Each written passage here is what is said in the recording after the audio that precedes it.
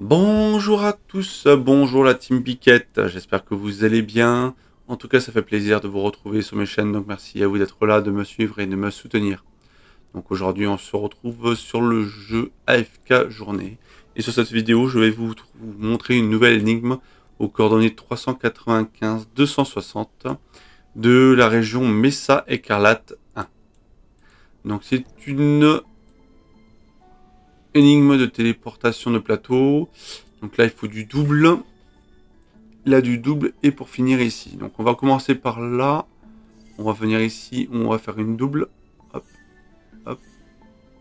Hop. Téléportation. Je vais venir comme ça.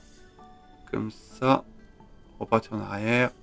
Revenir dessus. Et on finit. Et voilà. Très simple et très rapide.